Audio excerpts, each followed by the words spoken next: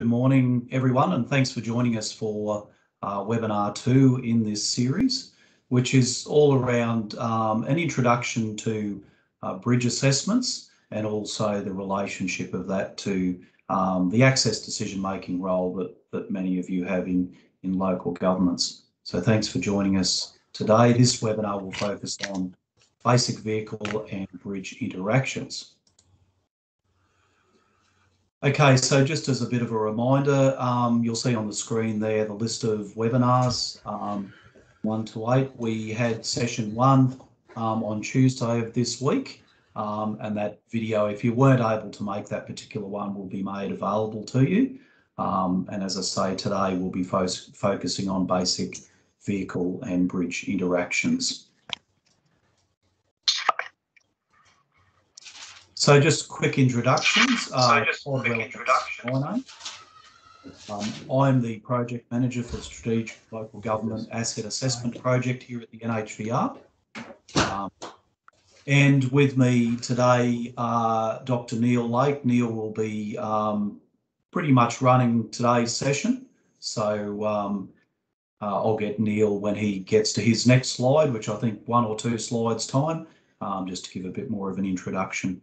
So, uh, yeah, just a quick, in terms of today's webinar, a quick welcome from myself, and then we'll get into, I guess, the uh, the main reason for this webinar is just to explore the basic vehicle and bridge interactions, which is a bit of an introduction here, but some very good fundamental information that Neil will be providing to you in that time. So uh, following that, we'll have a small amount of time for questions and answers, um, and we'll try to address those in that remaining time. What I might ask you to do is, um, if you can put your questions as we go, because you'll probably think of things along the way. So rather than actually asking the question at the time, maybe just put them into the chat, and then we can um, have a listen to uh, try and address them at the end of the session. Um, if you haven't already, please mute your microphones so that we don't get any feedback coming through.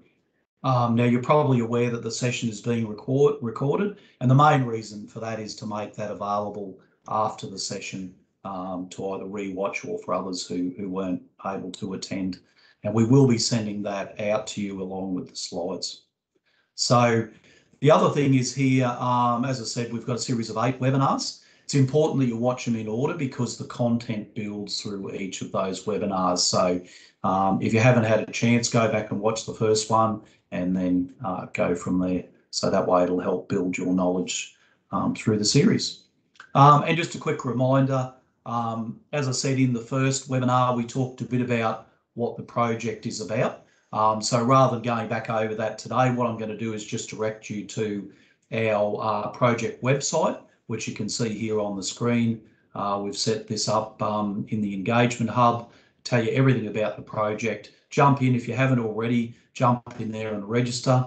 You'll get access to a whole heap of information. As you'll see on the left-hand side of the screen there, uh, the Road Manager Toolkit, which is a really, really important resource that we're building in this space. And obviously these webinars are a part of that information, along with some other tools and resources that we're currently developing and will continue to do throughout, throughout the program.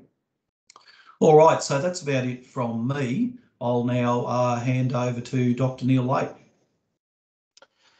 Great. Thanks very much, uh, Todd. Uh, for those of you who weren't on the first webinar and don't know who who I am, my um, I work for the Institute of Public Works in Queensland, and my background has been in this heavy vehicle access and bridge assessment space um, over the last 10 or 15 years. Uh, lots of involvement with lost roads and lots of involvement with councils trying to help them with their their decision-making around heavy vehicle access. So uh, I just want to welcome you today to this uh, to session, and I hope that you'll get a lot out of it. Um, as Todd indicated before, um, there there are um, I'm running through a series of about four webinars over, so this one and then three more, which are all really focused on trying to get our our understanding to a level where we can really uh, make uh, you know have the fundamentals to make good access decisions.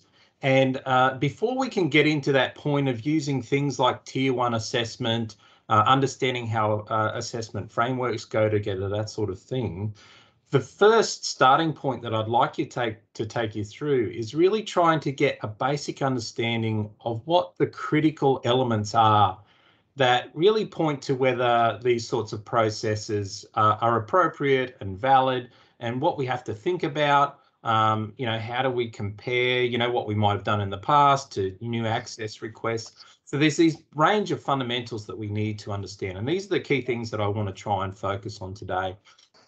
Now, my intention today is, is not to get so deep into the nitty gritty, but we want to just collate enough information that we can start to, to know that things matter um, and, and know the basic principles of, of why they matter. So the key things that I really want to want everyone to get out of today is understand the importance of concentration of mass of vehicles, understand how bridge configurations actually affect um, uh, where we end up. Uh, sorry, how bridge configurations affect um, you know how how vehicles load structures, the impacts of live load factors. I want to talk about the dynamic load in interaction uh, with the bridge and how that affects the loads and just also the impact of vehicle position, the ground contact width, that's what GCW stands for, um, and the bridge type and how that affects the sharing of loads across the, uh, the structure.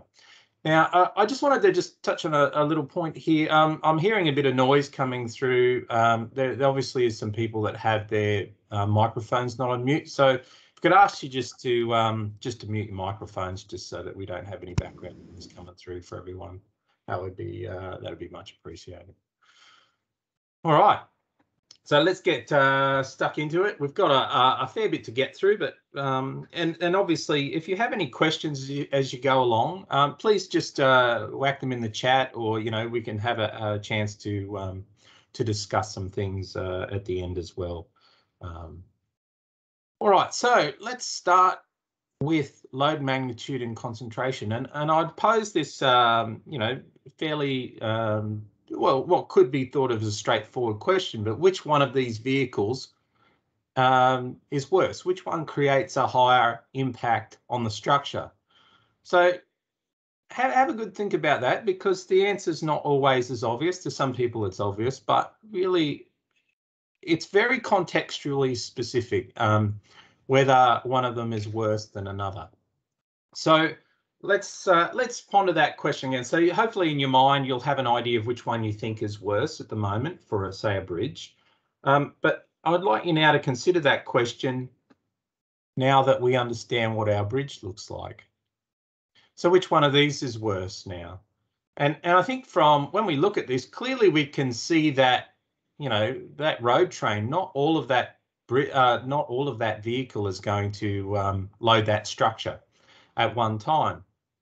Now, to understand which one's worse in this case, again, it's not so straightforward because while we have the middle vehicle there is a shorter vehicle with less axles, um, it's also loaded to HML, which has higher loads on the individual axles. For instance, the tri on that particular vehicle uh, would be loaded to 22 and a half tons, whereas the, the truck and dog below, the tri would only be loaded to 20 tonnes.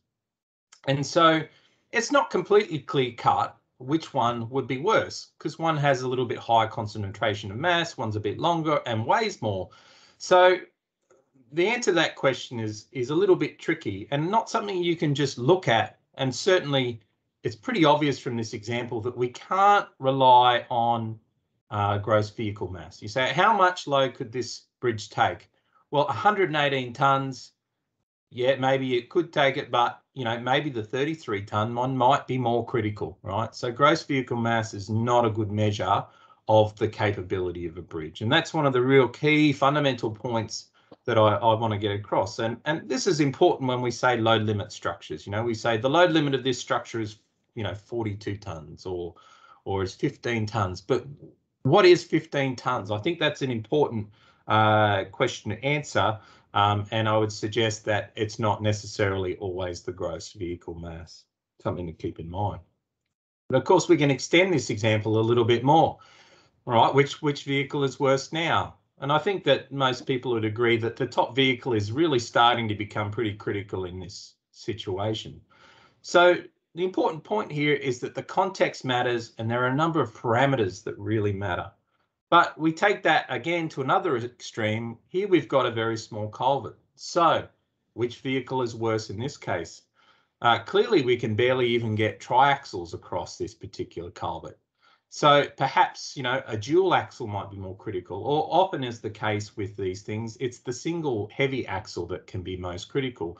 Because what we find on a lot of our uh, vehicles is that, you know, when we have um, loads in larger groups of axles, the load per individual axle is often a little bit lower.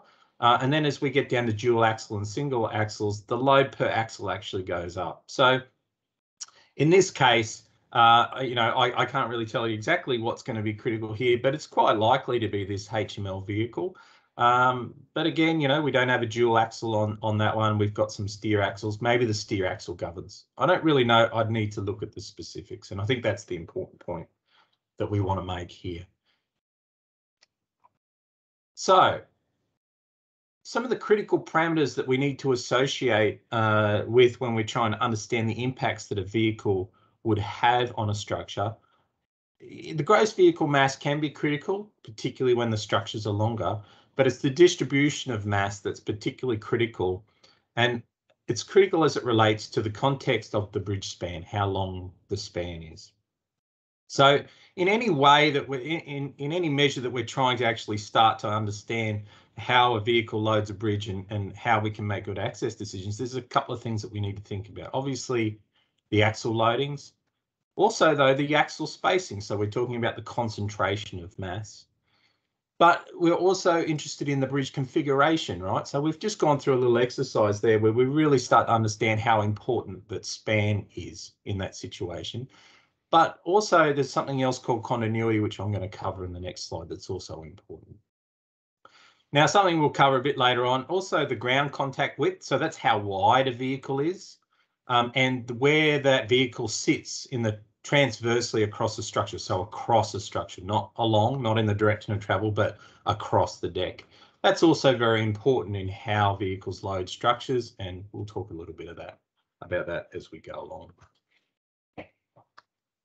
So let's talk about bridge configuration, and I want to cover this uh, particular aspect of um, uh, whether the structure or the, the, the continuity of the structure. And so we're going to talk about two key things here, and that is simply supported uh, structures and continuous structures. So if we look at this example on the right here, we can see that the deck or the superstructure in this case, you can see how that travels all the way through that internal pier. And so the deck is continuous, right? So that's what we mean by a continuous structure. And what happens in continuous structures is that um, the deck actually, the deck and the girders actually will bend over that middle support. And what that does is allows an opportunity for what we call bending moment to develop in, in over the top of the pier in that superstructure. And uh, what that means is that, you know, we can actually put reinforcement into that top section and actually uh, resist that bending moment.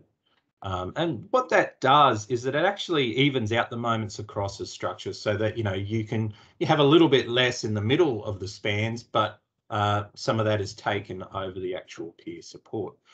And we can see uh, in the very bottom diagram, we've got what's called a, in this instance, it's a bending moment diagram. And we can see that, you know, in the middle, that that structure's sagging down. And so we had bending moments where we need to be able to take what you know, tension in the bottom. Um, and so we use steel reinforcement to do that. But in the case of a continuous structure, you also need to have steel in the top of the superstructure to um, withstand those hogging moments. So that's so that's what a continuous structure is. And and we will have instances of these out in our bridge stocks, right? So it is something that we need to be aware of um, because this also impacts how uh, vehicles, you know, load the structure. And it becomes particularly important uh, what parts of the vehicles are in different spans on continuous structures.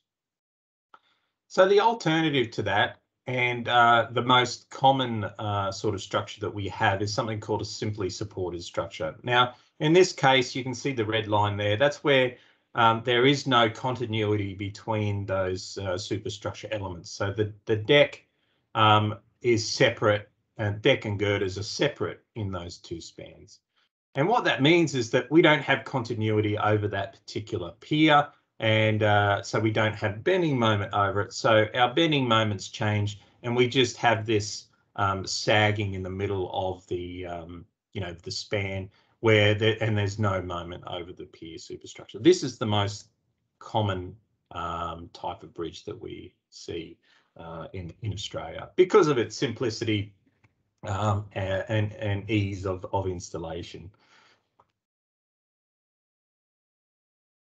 All right, so so that covers a bit of bit of the basics about how vehicles actually load structures. Now I want to talk a little bit about live load factors. Now, uh, it's interesting with live load factors because I hear a lot of people referring to them, um, you know, making uh, statements like, you know, oh, we've got a live load factor because there's another vehicle next to the vehicle, you know, there's more than one vehicle on the bridge. And I, and I just want to really clearly dispel that idea. All that uh, a live load factor is designed to do is um, increase um, the the base load that we think a vehicle is going to be by uh, an amount, a ratio, to account for the chance that that vehicle might be overloaded. And so basically, um, you know, in many situations, we, you know, we would double the load that we think a vehicle is to account for the chance that, you know, perhaps, uh, you know, something has happened, meaning that that load is much higher than what we think it uh, is meant to be.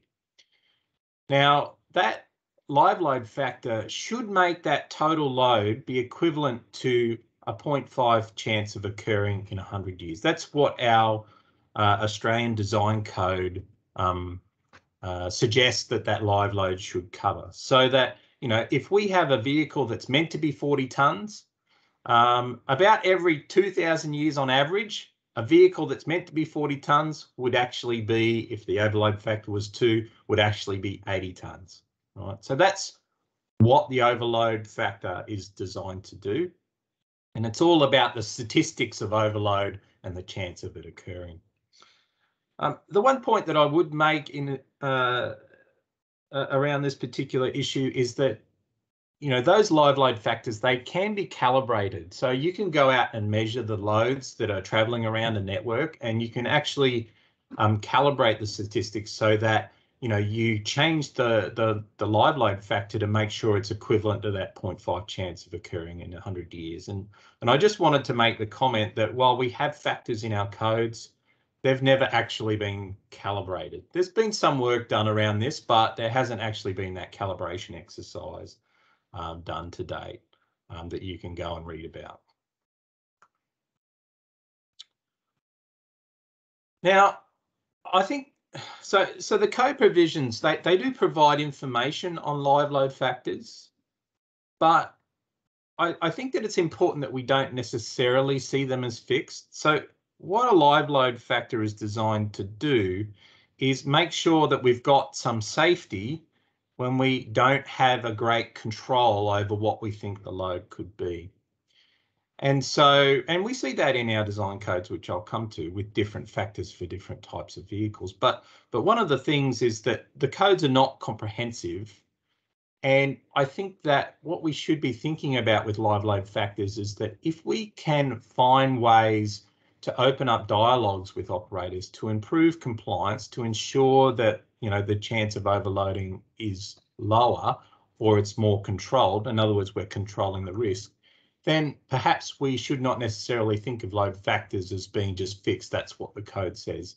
Um, acknowledging again that that uh, that you know load factors haven't been calibrated in Australia. So something to be aware of. So let's talk about uh, the Australian standard. This is the bridge standard AS 5100 part 7, um, which is uh, the part that's all about um, uh, assessing structures and, and evaluating, uh, you know, uh, I guess evaluating heavy vehicle access. Now, the load factors that it suggests at the moment, um, for normal traffic, it's suggesting that a load factor of 2 would apply. And uh, if we go to some more specific vehicles like cranes or volumetric loading, some of those load factors can come down to more like 1.6. Now, I've put a little but there, volumetric 1.6, but I would encourage you when you're thinking about what is an appropriate load factor for a volumetric load, perhaps it's worth thinking about, well, how heavy can we actually overload a volumetric situation? So, so let's say we had a cane vehicle um, that was uh, transporting cane to a mill. You know, how, based on its um, geometry, how heavy could that actually be? And this is something perhaps you could open up a, a dialogue with with operators about. So, for instance, you know, um, you know, if you if you uh, get the cane and it and it's uh, just about falling up over the top and it's been raining and so it's all wet, well, how heavy could that be? And perhaps those load factors, you know, might need to account for that. So, it's something to think about that the code just doesn't automatically tell you what the right answer is, so to speak. But it's there as a, a guide. So road trains and B doubles in the code, they, they do have some provision for IAP and onboard mass. So, you know, these provisions are designed to help um, control um, the potential for overloading. And so it allows a, a lower factor, 1.8. But, you know, I guess the question that we always need to be asking is, well, does it actually make a difference to that compliance? Um, and, and obviously issues of data and data access become involved in that. And these are things that perhaps you can open up, open up dialogues about um, if we're trying to optimize access on a network. Again, uh, heavy load platforms, they talk about 1.5, but you know, what is a heavy load platform? I mean, we can come up with a definition, but you know, is a live load, uh, a low loader considered a heavy load platform. So there's a there's a fair bit of gap in in the codes in terms of what oversize over mass um, load factors would potentially be. And the reason why I talk about this is because you know if you go out to a supplier to get an assessment done, every supplier will come back with a different load factor. And so I think it's important uh, as uh, asset owners that we start to to start to think about well what are appropriate live load factors um, and, and the key to that question is how well do we actually know the spread uh, of the potential masses, right? So how much certainty do we have? Um, so obviously compliance is, is pretty critical here and, and could guide our assumptions. And, and perhaps, you know, in many situations you'll need specialist knowledge about it, but it's something to be aware of. Um, so who decides a live load factor? Well, essentially uh, the the road manager is the person who's responsible for deciding that. Um, it's their asset. Um, they're the ones who can decide what the parameters are. Obviously, there is guidance in the codes, um, and obviously you could get guidance from a supplier or a consultant, but ultimately this is this is in the road manager's domain. So also within the standard, uh, there are also live load factors for design, historical design vehicles. Um, I, I, just put this up there just for a bit of uh, general knowledge, but I think there's a couple of important points is that this code does allow you to consider a live load factor for older vehicles. Um, and why that's important, and, and we'll, we'll probably get to this in later webinars, but um, it is important because, you know, those older vehicles were back in a time where our um, uh, evaluation methodologies, our analysis methodologies were quite different. Uh, we sort of had a pseudo working stress design back in those eras, uh, pre uh, probably pre 92, uh, when we started to go to limit state design. So uh, it's important just to see that those load factors can be used uh, in there um, so that when we're crossing different code eras, there is still a way forward. The other thing I'd just point out too is that there is a um, uh, the the wheel load there, the W80 axle load 160 and the SM1600, they're our current standard in-lane design vehicles at the moment. And the load factor for them is 1.8. And, uh, you know, these are fictitious vehicles. They have a uniform load component. They've got an axle uh, load component. And the point that I want to make is that if you got a vehicle, let's say that you had uh, uh a, a, moving 1600 load that's applied for access, right? Now, it's not a real vehicle, so that can't happen. But if you had something that was similar, what's interesting is when it's designed versus when it's evaluated, uh, potentially we could have lost uh, you know, sort of 20% there. We could go from um, uh, oh sorry, 10%. We can go from a factor of 1.8, but then as soon as we evaluate a real vehicle that looks like it, suddenly our load factor is probably more like two. So it's just something to watch out for. Just because a vehicle has uh, a bridge has been designed for a particular vehicle doesn't mean that that automatically passes in an evaluation setting. So just something to be a little bit aware of. So the next thing, the next key um, thing that I wanted to talk about was a thing called dynamic load allowance. Now, what dynamic load allowance is all about is that it accounts for when a vehicle crosses a structure, uh, it's a dynamic uh, set of loads, and those loads can interact with the structure itself to cause an amplification of the load effect. Right. So uh, basically, if a vehicle drove across um, very slowly, the load would be considered being applied in a static way.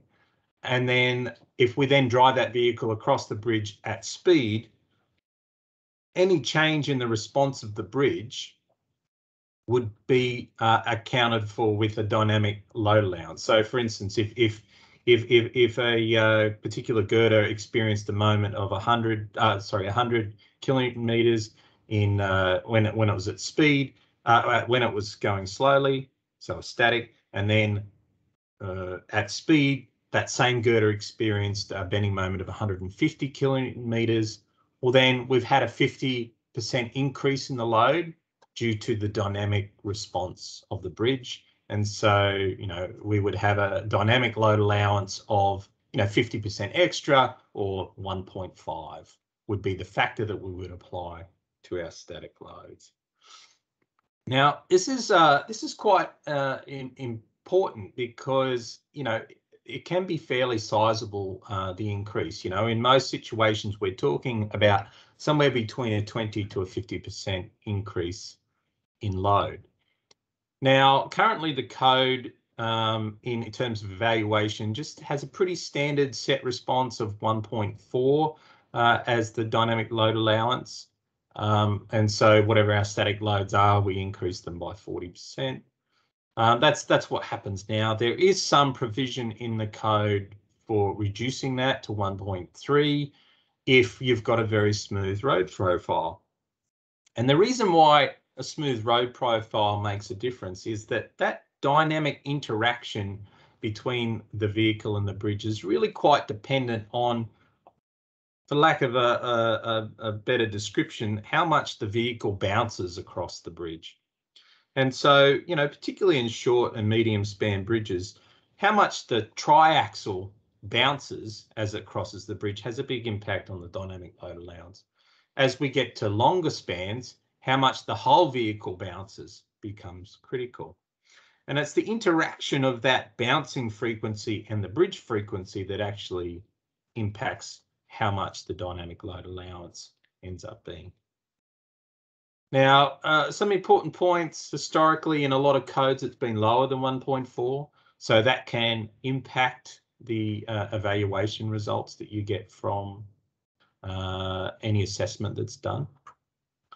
Now, so the things that really affect those things are the bridge dynamic response. So that's how stiff it is, uh, what the geometry is, the vehicle dynamic response. So that's how heavy the vehicle is, what suspension it is, uh, what geometry, what speed, all those sorts of things, the interaction of those effects. Um, and then, of course, as I said, the road profile.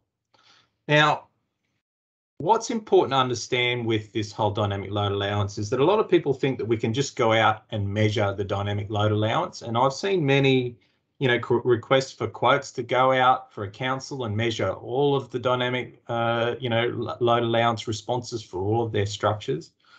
And, and I guess having been someone that's been involved in the measurement of, I don't know, perhaps, you know, 60 or more bridges uh, looking specifically at, at, dynamic load allowance and the response of bridges uh, to to loads. I I I would encourage you perhaps that that's not the best and most appropriate use um, of your dollars in terms of trying to uh, get better outcomes. Now, a couple of key reasons for that. Um, one is is that any dynamic load uh, test that's done is usually done at service loads, right? So we haven't used that um, that live load factor. We're not doubling the load when we do these tests.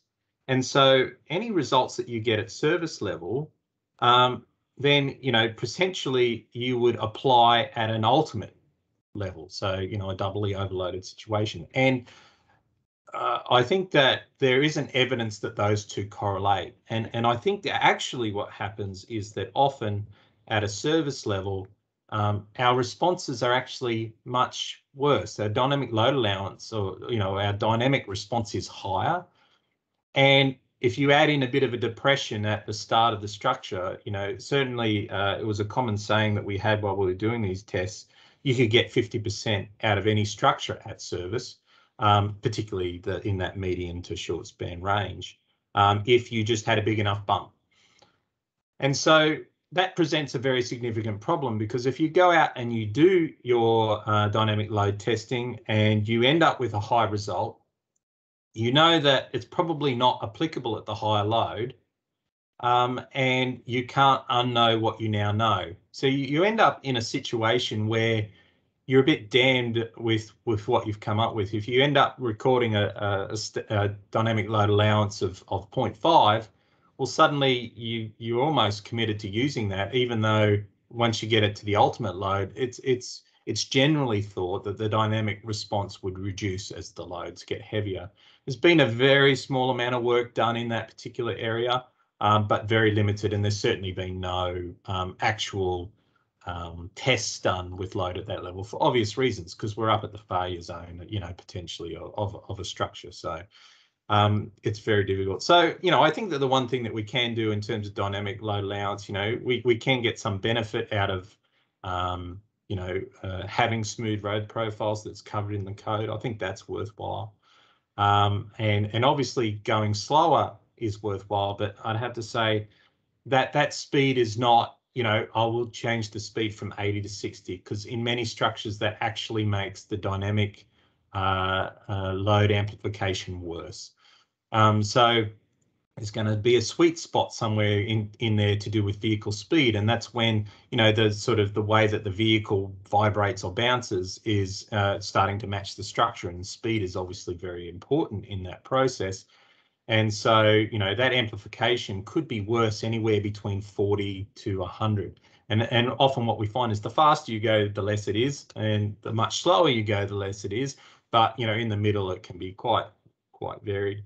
And so, you know, if we are talking about controlling the dynamic load allowance with speed, those speeds need to be very low. You know, we're talking about 10 and 20 kilometers an hour, not just reducing the speed from, you know, uh, 100 down to 60, you might make the situation worse. All right, uh, let's talk about multiple presence for a minute. So, you know, obviously when we had most structures, you know, we had multiple lanes um, on a bridge. And what's important is that, you know, when we use things like live load factors to really factor up the, uh, the magnitude of load on a particular vehicle, well, you can't apply that same you know, doubly overloaded vehicle with a live load factor in the other lane. Because if we if we double both of them, then we're actually getting to a point where the probabilities of that load are going to be much, much higher than, you know, a one in 2000 year return interval. So the way that the codes generally allow for this is we have something called an associated lane factor. So what that means is that while our first vehicle we set currently at one. So it's one times the dynamic load allowance times the live load factor. When we put a vehicle next to it, we actually reduce the size of that load to account for the fact that the chance of two really, really completely overloaded vehicles is going to be being next to each other is going to be lower. And so the second vehicle gets a reduction. And then if we have multiple lanes after that, then they also get a reduction. It reduces down to say 0.4. Now, um, it's very important that when we do as assessments is that we do consider the fact that, that we can have multiple vehicles on a structure at one time. So if we look at there over uh, on the right hand side, we can see that, you know, the, the left hand vehicle uh, that I, I've have in that diagram, it, it, has a set of loads that go into the girders as per the first profile that you can see below the deck. And then the right hand one has a different profile, but you can see that the right hand uh, vehicle also loads the extreme left hand girder, but only a small amount. Uh, and so we have to um, add those distributions to get to see what the overall effect uh, is across all of the girders on the structure. So that's why it is very important. I, I would also make the point that how much load gets transferred across those girders is very, very dependent on the bridge type. So things like, say, timber girder bridges, we don't get so much transfer load across the deck. Um, but whereas structures like something like a deck unit or a slab slab bridge or um, those sorts of things, then you get a very strong transfer of load across and you get a more even uh, distribution of loads in each of the girders. And that's really important to be thinking about uh, as we move forward. Now, uh, I was going to make the comment that associated lane factors, um, while they're set in the code at 1.8 and 0.4, and, and please note that these have historically been different over time, in the real world, how big that factor should be is very dependent on the traffic volume. And I, I would make the comment, I've done some work around this in terms of simulating, uh, you know, uh, having vehicles next to it and, and uh, you know, with traffic volume. And, and what that work found is that actually our approaches are reasonably conservative at the moment, right? So I'm not going to say uh, by how much, because it is very dependent on traffic volume. But once you get to very low traffic volumes, there is a case for those factors to be reduced. Now, I don't say that because you need to be thinking about reducing them or anything like that. I say that just to be aware of that fact, um, because all these little bits of information actually do impact our decision making, I think, over time. Right, so I just wanted to talk a little bit about transverse distribution of load. I touched on it in the other slide. Now, what transverse distribution of load means is that how loads get shared between girders, right? So we, we talked about that before in, in the previous slide. And uh, let's look at this example here on the right-hand side. So let's say that we had two 50-ton trucks um, there. And then, so we, we, you know, and let's say that we know that the structure can take those two 50-ton trucks. Well, if then we have an oversized overmass vehicle that's also crossing this, that wants to cross the structure, can we say, well, because two 50 ton trucks can go, then the 100 truck ton, 100 ton truck could go. And so that's the question that I just want you to ponder at the moment. Uh, can the case on the left be compared to the case on the right without considering the transverse distribution of load? There are some other things that we also need to think about that we covered in the, the earlier slides. That being how long the span is obviously matters, what the configuration of the vehicle is, so how much load can fit on a span. All of that really matters, um, but we won't go too into depth on that particular issue. What about live load factor, dynamic load allowance and associated lane factors? All of these also impact whether this comparison can be made. The one on the left, the live load factors would be two. The one on the right, the live load factors might be something more like one and a half. On the left, the dynamic load allowance would be 1.4. On the right, the dynamic load allowance, if the vehicle was travelling slowly, could be as low as as uh, as 10%, 1.1. Obviously, there's no associated load factor on the one on the right and the one on the left, there would be some. So the second vehicle would get reduced by, say, 80% in that case. So it's not easy just to compare apples to apples. So if we start now looking at the distribution of how loads might transfer into each of those elements, what, what I have in these two diagrams is say, again, we could be looking at any particular action, but let's say we we're talking about bending moment, how much the beam bends. Um, you can see there that in the first case, uh, we would end up with those two distributions being added together. Uh, and then the one on the right, depending on where it sits laterally, how many girders there are, how stiff the deck is, we could end up in a position where it loads some girders more than the case that we're talking about on the left. And I think that that's, and, and in that example, this is a fictitious example, it's just trying to make the point. But what's important is that we haven't even considered live load factors, dynamic load allowances and, and associated lane factors at this stage. So again, the point that I'm trying to make here is that, you know, uh, 50 tons is not 50 tons when we're talking about a bridge, you know. Um, we can't just go, well, those two vehicles are 100 tons and the vehicle on the right is 100 tons, therefore, ah, it should be fine, you'll be right to go. It's more complicated than that. I don't want you to get too worried about all the specifics of how that comes together because we're going to cover that in the other webinars. And what I'm going to try and do is break it down to be a fairly simple process um, rather than, you know, having to know every little ins and outs. But uh, starting to understand some of these things is an important stepping stone. And we're really just at the start of the journey for many people. Some people already know this like the back of their hand, but um, you know, it's a it's a process. So uh, I've already covered those lateral position, ground contact width bridge family is very important. So by that, I mean, you know, what's the type of superstructure that we're talking about? You know, here we've got some steel I-beams, but, you know, a deck unit bridge or, a, you know, a concrete plank bridge, something like that, will have quite a different um, uh, outcome. So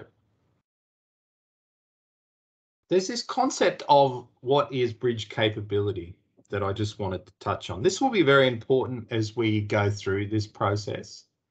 Um, but I just want to start to introduce this idea of bridge capability. And, and essentially what I'd like you to think about is that it could be defined as the biggest vehicle that you know can safely cross the structure.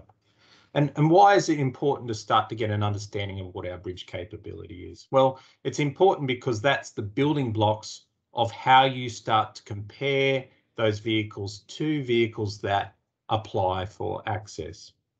And we will do that with a process of something called tier one assessment and using the assessment frameworks to do that. But essentially, that's what we're talking about. What's the biggest vehicle that you know can safely cross the structure? And I'd just like to pose this uh, question initially.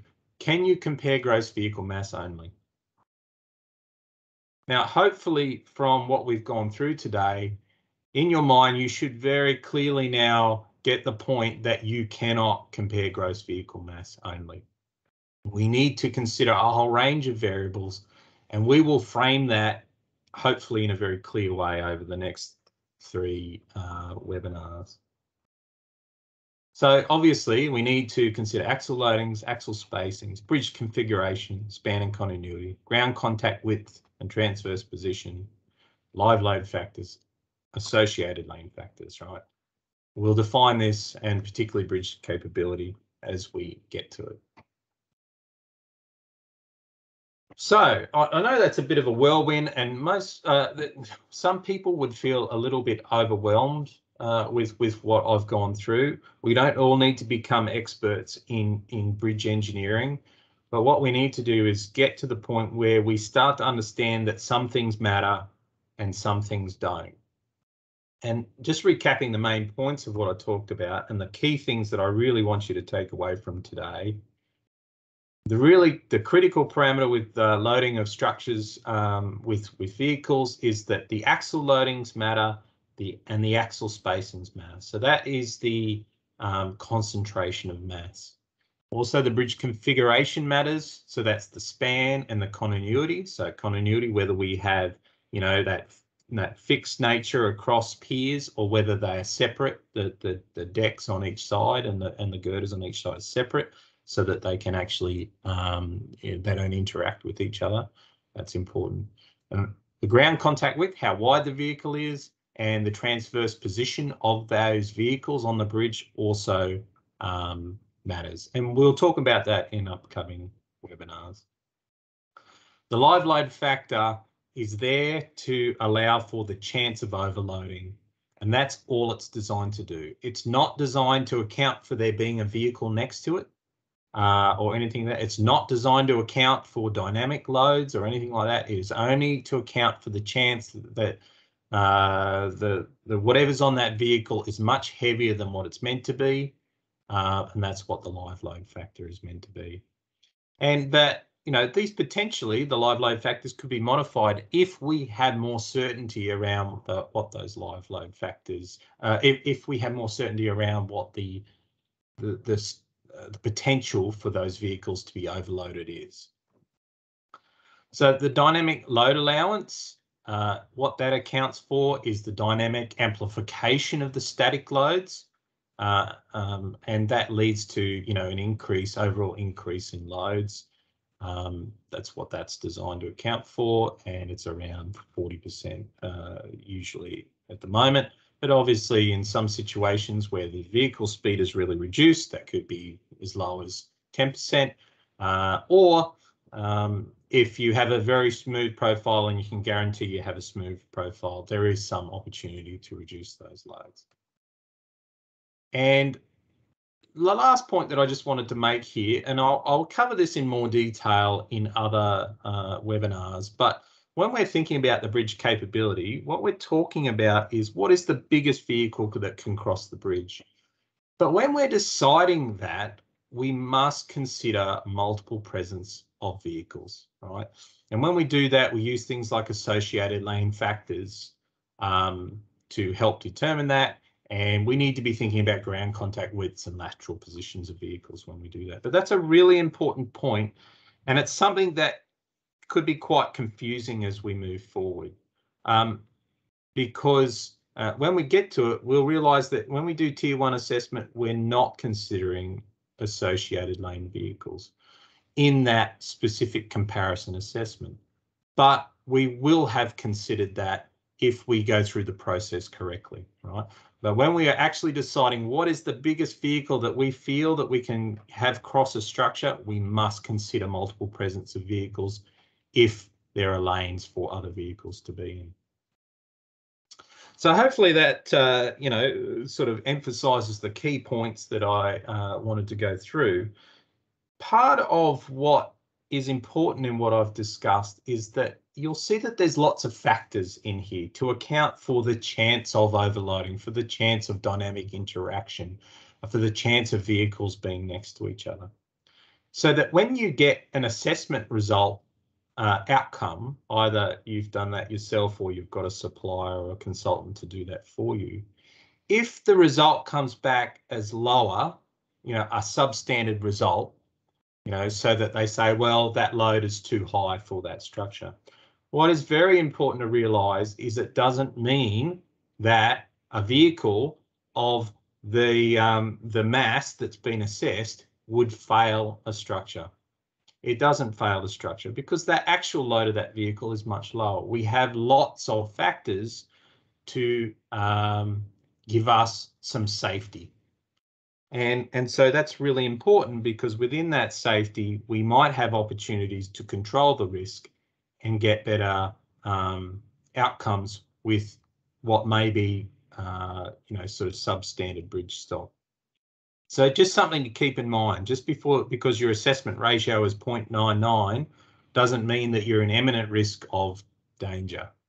Uh, it means that your uh, safety margins are slightly reduced from what is ideal. And I think that's an important way to think about these things because uh, we can get quite cut and dry in our mind. No, it's the assessment ratio came back just under what it's meant to be, therefore that vehicle cannot travel. And I think the reality is is that just the safety margin has been re reduced by a tiny amount. Um, maybe uh, we need to be starting to think about that, um, and that's why I raised that particular point. All right, so I've gone two minutes over and uh, we'll get to some questions. Just a, a quick uh, comment. Uh, obviously, uh, some further training opportunities. Go and have a look at that. I've got these upcoming webinars as well. We're also working on some other programs. So we had some comments about, you know, uh, training in other states. We are trying to work on some of those things. So um, we'll keep you posted on that. Well, Todd, you've been watching the uh, the the chat. Hopefully, maybe you could uh, tell me some questions that have been asked. Yeah, thanks, Neil. Um, and that's great. I think uh, you've covered off some important concepts there. So hopefully, people are quite informed by that. But I think, in importantly, the point you made at the end around, you know, in a practical sense, um, you know, what does it actually mean? And there's plenty of plenty of uh, capacity built into our structures. So we're not necessarily in a position where we need to panic about this, but we do need to consider all those different interactions as we go through. So I think that's really informative. Thanks, Neil. All right, um, so we'll just have a look now. We've got a few questions that have come up. So I'll just go back to the top here. Um, so we've got Chung, uh, who said major concern on quad axle vehicles of 27 tonne, uh, more information analysis on axle spacings too. So any comments on that, Neil? Uh, yeah, yeah, sure. Um, yeah, it's interesting. Uh, the the the quad axle. Um, I know that people can be quite panicked by it, because it because it says that it's 27 tons, but um, I, I will come back to that same statement that I I made earlier. Um, will it does it is it of concern? Does it matter? Well, it depends. That's always the answer, right? Mm. So, you know, what is the context, right? So for some structures that that may be worse, but what you have to realize is that now 27 tons is spread over four axles and not three. So, you know, we, we have a situation where we had 22 uh, in, and a half tons on a HML triaxle. Well, when we go to 27 tons on a quad axle, that's actually a lower load per axle and it's spread out over a longer distance but there's no denying that it is overall a higher mass. Um, so, you know, the answer to that really comes down to, well, it depends. And through these webinars, we will show you the tools that will allow you to make that comparison. And the comparison is, uh, you know, is a fairly foolproof way to actually see whether the impacts of that load would be higher or less than vehicles that you've already allowed across the structure. And that's the fundamentals of tier one assessment. And, uh, you know, we will show you uh, the tools and how to use those. And that hopefully will address that question because we shouldn't be thinking about, oh, 27 tons sounds heavy. We should use our, our tools and our science and our engineering to decide whether it actually has an impact or not. Um, and that's a key thing that we're trying to do through this uh, webinar series. Um, Chung goes on to say uh, another concern is the age of bridge structures, which I think we can all we can all agree on there. Um, yeah. Uh, quite a lot of the bridge stock is is 20, 30 or even more years old, so that's certainly a concern. And then within that, uh, Chung also makes the comment around the bridge bearings, so different components within the bridge itself. Yeah, I, I think this is a, a really important point uh, that you know as bridges get older, they have the potential to deteriorate. Um, and and so that's why it's it's absolutely vitally important. And I made this point in the last webinar that you must do condition assessments in the process of deciding uh, heavy vehicle access requests. You must have up to date uh, level two um, bridge inspections uh, completed and, and those need to look at the condition of those elements. And if there is concern of deterioration of those elements, you need to get that assessed as to whether they can appropriately carry the load. Now that is, is definitely gets into the domain of the structural engineer and professional engineering advice. Um, but you need to go through those processes of identifying, you know, whether something has deteriorated. And, and I would suggest that nearly everyone has the capability really to see that you know something doesn't look so good. Um, if I if I use the old adage that uh, they often use in first aid training, uh, if it looks crook, it is crook. Right. So if someone looks sick, they're sick. Right. It's the same with your bridges. If you go look at a component and you go, oh, geez, that doesn't look right, it's probably not right, and you need to get it checked out. So um, I think that's a you know a, a, a good way to think about these things. And as you said in that last uh, webinar, Neil, the importance of undertaking um, inspections, particularly the level two inspections on a regular basis, particularly for those higher risk um, structures that you might have within your area. Yeah, yeah, that's right. Um, now, just on that theme around the age of bridge structures, uh, Grant has gone on to say um, that's a primary concern. Very hard to look at old structures and have confidence in original calculations and less confidence in current day estimates. So that's a, a, a, further valid point in terms of what you were just saying there, Neil.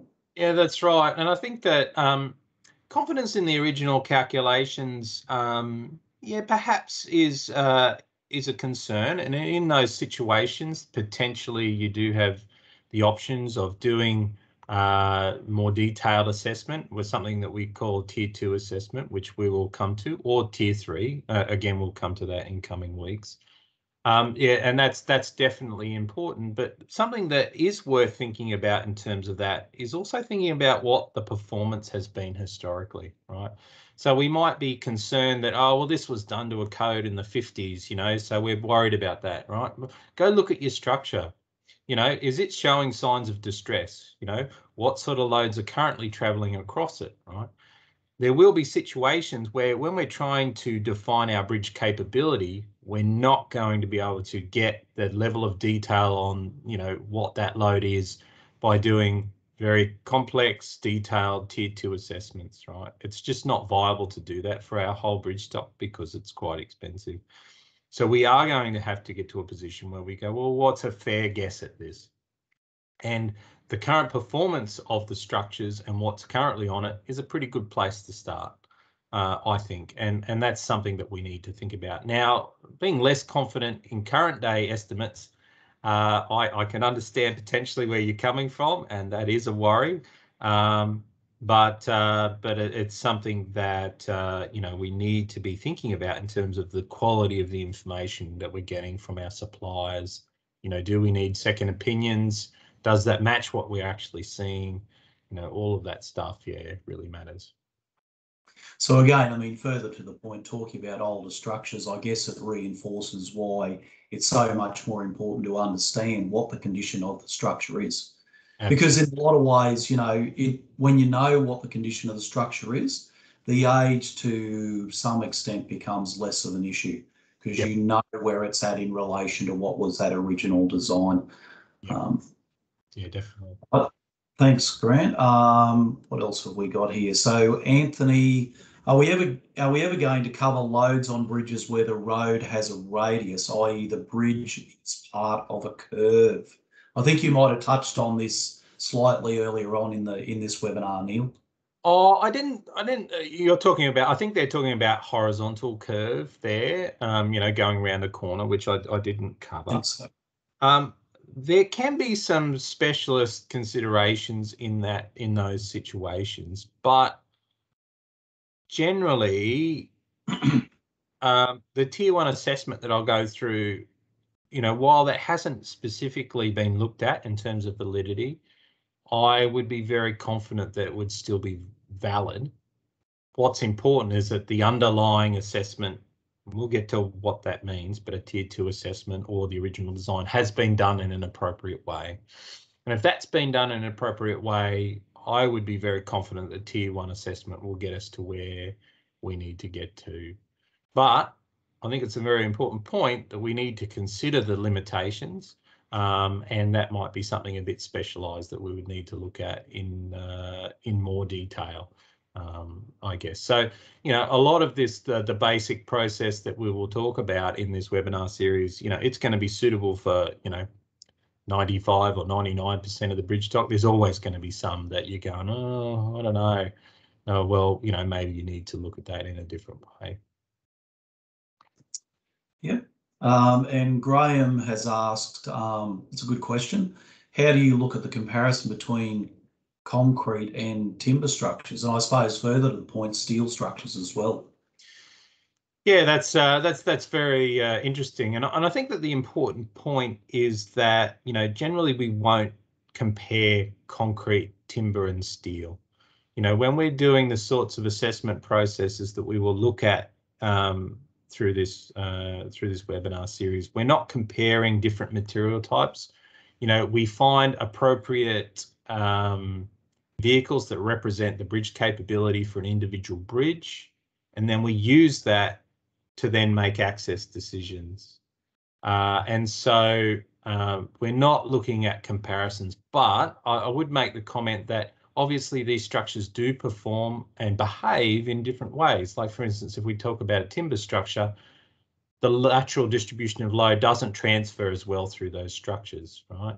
um, uh, you know, a NAASRA I girder beam, you know, we get transfer, but it's not as significant as a, a, a uh, transversely stressed deck unit or a slab bridge.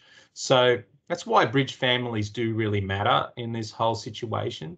Um, but that direct comparison is not something that we would be uh, doing as part of this uh, this process. Thanks, Neil. Um, Raja has asked um, on bridge structures which are one lane in each direction, for heavy loads travelling on centre of the bridge is the safest option. Yeah, well, certainly, uh, you know, if you've got a heavy load traveling down the center of the bridge, you, in many situations, you will have the potential for that load to be higher than if you know you have a uh, you know the traffic open on in both directions. Um, the, a couple of comments that I'd make around that is that what what's important is that you know when you are making access decisions that you know provisions that are made are things that are achievable by the operator and that also don't ask them to break the law in any way. So you know if you've got a road with a you know a, a bridge with a double line down the centre and you've said an operator, you've got to travel down the centre of the road, but they're just travelling in open traffic conditions, well, I'd suggest that's probably not an appropriate condition to have placed because you're asking them to break the law, crossing double lines. But in that situation, you know, you could use other measures like, you know, using a, uh, a pilot and traffic control to close the bridge to traffic while that load goes across the bridge, um, get them to travel in a particular position. So there are ways to manage um, access and get better access outcomes, um, but we just need to be very mindful of what we are asking operators to do and also be mindful of the level of compliance that um, is likely. For instance, you know, if, if you have a dual lane bridge on a major highway and, and you tell uh, uh, an operator you must travel in the right hand lane, but the exit that they need to get to is literally 500 metres down the road from that point, well, it's probably quite unlikely that you're going to get the level of compliance that you're expecting, um, and they'll just run wherever they run. So these are just a few points that we need to be considering. Um, but yeah, certainly centre lane uh, travel is is a way that we can maximise our um, assessment outcomes and, and access outcomes, I guess. So we've got a few more comments just around the age of structures here, and I think um, one here that Vikram has mentioned. We've got a bridge that was constructed in 1922 um, as level condition, uh, level two condition rating um, is three, or is that minus three? I'm not sure. Three. Uh, but they don't they don't have the construction drawings. So the question is about well, how do you do an assessment in those cases? And clearly this is quite a, a complex one. But the point around the construction drawings is something Neil, that we've encountered quite a bit in this program when we've been looking to undertake assessments.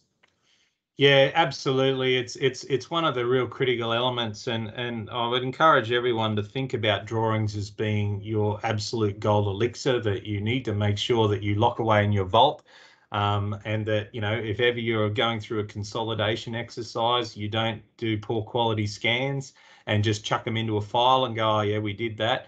Um, that information that's on those drawings is absolutely critical to the ongoing management of an asset. And we need to really consider that. I mean, we still see instances where structures that are relatively um, new, you know, less than a decade old, and people don't have drawings for them. You know, this is something that we have to really shoot to the top of the prioritization list in terms of, you know, making sure that we keep this information. Now, having said that, obviously, you know, we're we're often in situations where we don't have this information. So um, it, it's a, uh, you know, when we're talking about a structure that is condition rating of three, that obviously means that there is concerns. You know, when I talk about condition ratings, what a three means to me is that we need to do something uh, soon versus a four, which is we need to do something now. So it means that there is some significant defects that need to be actioned uh, sometime in the near future. Now, what that means for the uh, assessment outcomes or access decision making is we need to get a handle on what that condition uh, state three actually means for our load carrying capacity of the structure. So that's a pretty um, that, that's not something if you don't have the background in you know structural engineering you're not going to be able to answer that so you really need to go and get some advice on does this defect affect the load carrying capacity because just because you've got a condition state three um, uh, element doesn't mean it's necessarily affected the load carrying capacity it depends like everything it depends on the context and depends where it is and and what that is. If that condition state three is because of a, a, a crack that's greater than you know 0.3 millimeters and it's a vertical crack in an abutment, well, it probably doesn't make any difference. Maybe it's in a wing wall, makes no difference, you know. But if that's a 0.3 millimeter crack at mid span or it's a 0.3 millimeter crack in the sh critical shear region of a beam, well, that matters a great deal more, you know. Um, and so you need to get some specialist advice there. In, in terms of the, the, the structure being, uh, you know, from 1922, the, the critical issue there is that you're not really going to be able to get any historical idea of what it was designed for, right?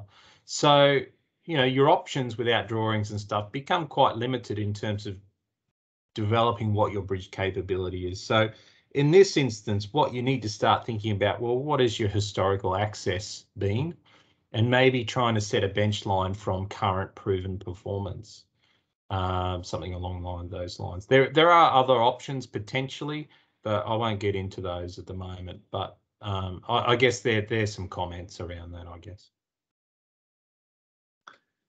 Yeah, so quite quite complex situations that, that you're talking about there. So obviously difficult to to uh, to come up with an answer. Hopefully, in the upcoming webinars, as you were saying, Neil, we're going to talk about how to deal with the majority of situations. And as you say, there'll always be those special special circumstances outside of that where we might need to call in some expertise to help out um, in getting that understanding. Mm -hmm. So that's all the questions. Thanks everyone um, for your participation uh, today and and for asking those really good questions.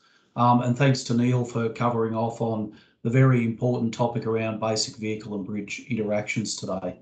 It's been really good. All right, so um, now um, in relation to the webinars uh, remaining in this series, this is number two. There's obviously another six more. Um, you can register for all of those now. Um, so that the link is available to you. Um, we can go through and um, and register for those over the coming weeks. And we've tried to break that up so there's two each week and we don't take up too much of your time at any any one day.